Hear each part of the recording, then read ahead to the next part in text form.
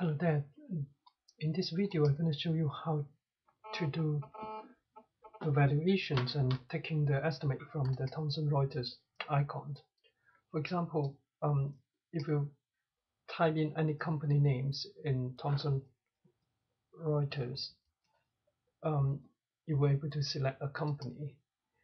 And from the company main page, you can see lots of information. For example, um, Apple now is trading 448. Um, because I already select the estimate, so this will be the page. If you actually land on the overview page, here um, will show you the news, the trend, etc. And to get the analyst forecast, it is the estimate. You need to click on it,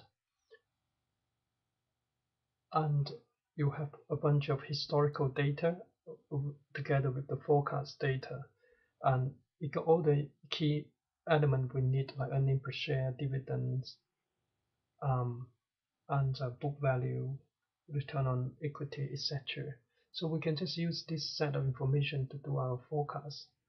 Um, to, to use them we, we by collect the this information to Excel by clicking the Excel export and uh, will just open it save it to whatever you like. Um, it will come up with something similar to what we have here. For example it will come up with something similar to this. This is the Dell actually this is will be the Apple estimate. So with last time I downloaded so once you get all this information of course then you just build, need to build your own valuation model. For example, we use residual earnings model. Um, I did both the Apple and Dell. I can show you the Dell version of this. Before I show my analysis, I'm going to show you two of the attempt from our, our fellow students. Actually, they're both very interesting application they did um, some point I want to make. And one version of this actually, what they did here is rather than taking the analyst forecast, they take on the estimation from, from the intrinsic value tab, where you will get information from um, valuations, intrinsic value. Here you can see there is some estimate about growth, I believe.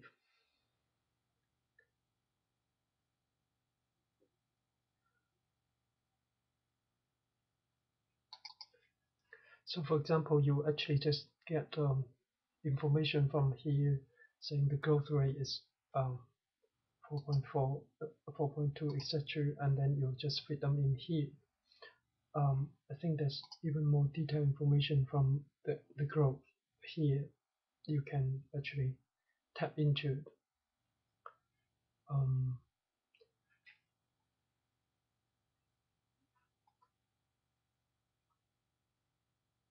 in here the in in the page we have I think those are the um, in the forecast one the estimate it only show you just few years but then it also have in this tab actually give you more detailed information on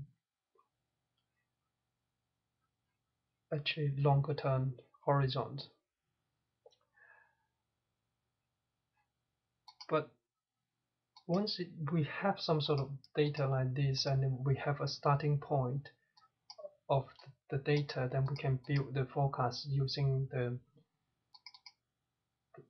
just purely based on the rate and then get the forecast of earning earning per share etc and we, we then can estimate the book value the return on capital employed and the retained residual earnings with a 9% discount we can then calculate all the residual earnings present values etc and one good thing about this spreadsheet is that they put everything all the assumption in one place.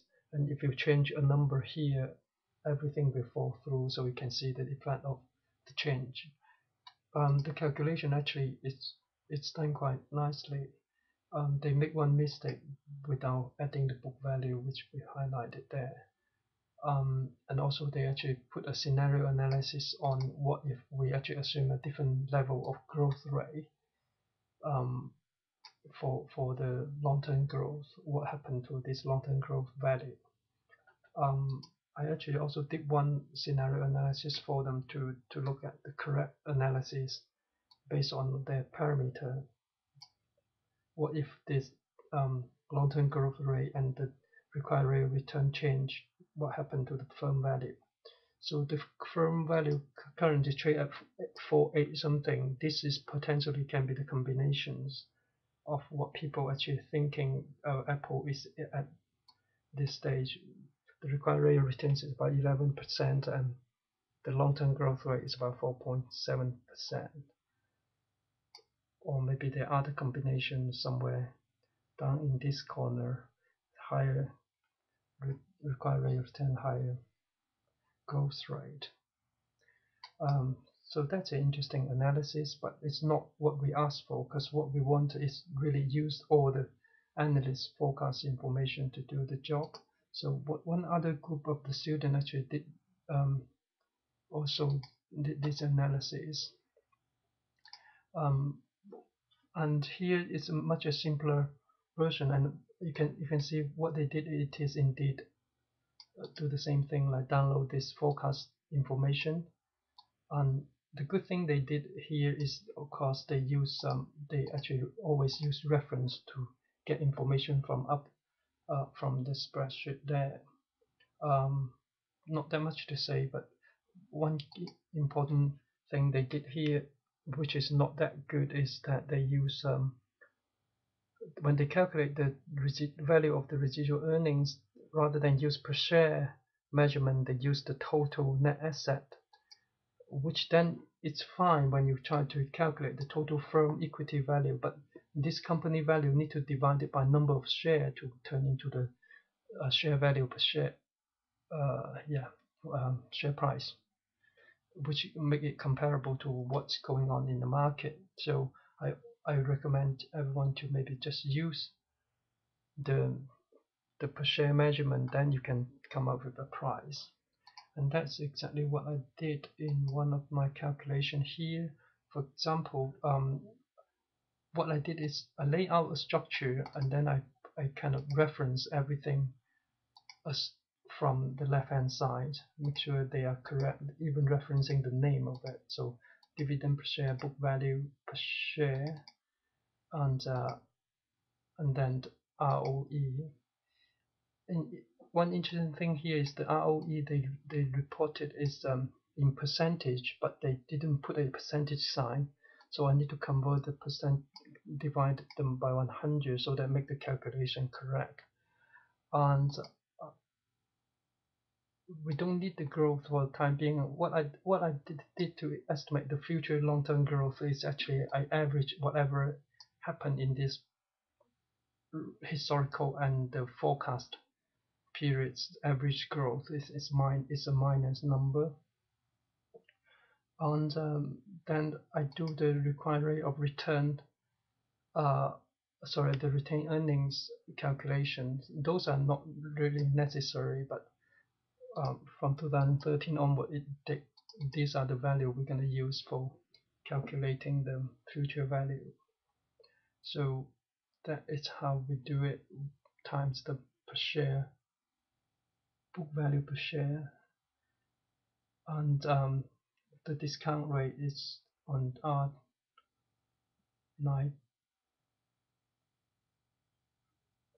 this one where's the B13 why it actually is in B25 okay um, that actually is wrong um, slightly so that's why can't recognize this. It should be this place. Yes. Um, so this is how it should be and we then need to lock it to just stay in this column and we can check it over yes. So the calculation now should be correct. Yeah.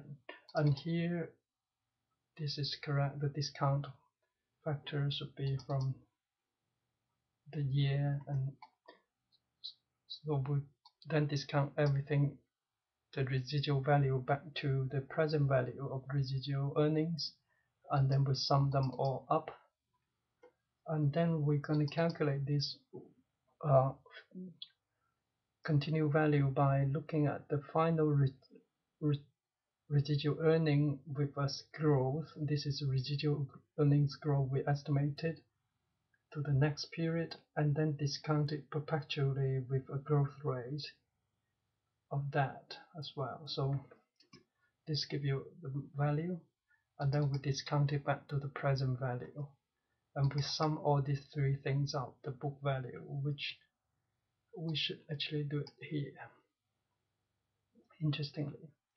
Um, so you can see actually by checking this I realized there's several mistakes I make during the process of the calculations previously. So now actually according to this calculation Dell actually only worth 11 pound uh, sorry 11 dollar and currently I think they are trading at 12 something so all the conclusion actually is different um, so one thing we want to look at uh, is how actually we can create a scenario analysis.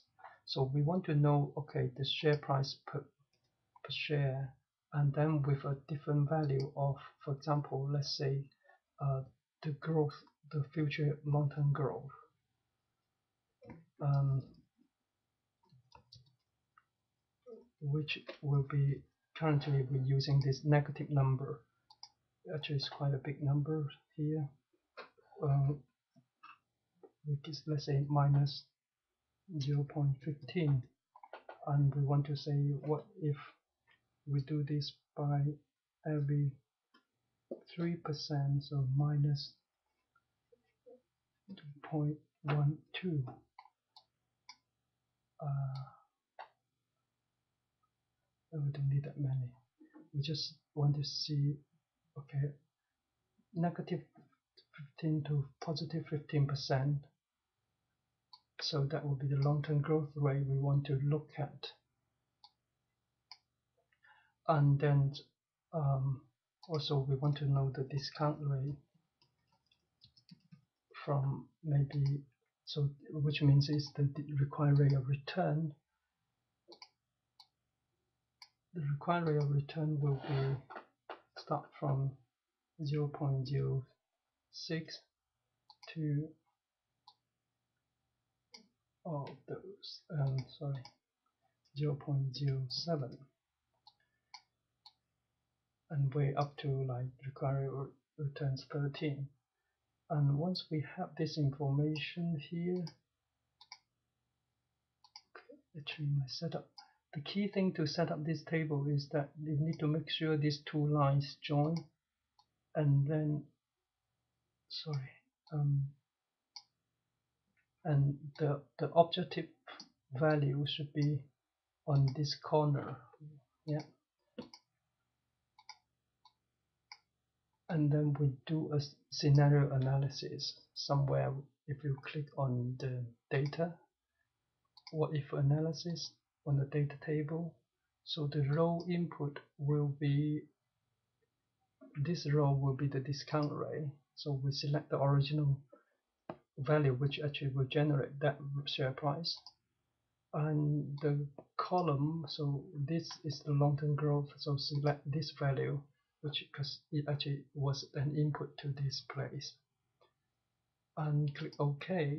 That will do because some value you can't calculate because if the growth rate and the discount rate is the same then you're gonna have a problem and that's why the down this corner those are not very reliable number to look into but we can we can see these are different valuations so the current valuation possibly if it's trade at about 12 something possibly actually in these different regimes of, of trading. Those are those are the possible assumptions the market using, rather than this level of uh, negative growth. So as long as if it have a zero growth, it's not negative growth, this company is worth more than what it's been trading unless the required return is higher than 12. That's what it's saying. So please go ahead and try this process yourself if as much as you can and, and potentially use the, a longer period because I only use three period uh, analysis. You can use the longer uh, projection from from the analyst report uh, um, to, to do calculations. Um, yeah, and if you have any question, please just let me know or email me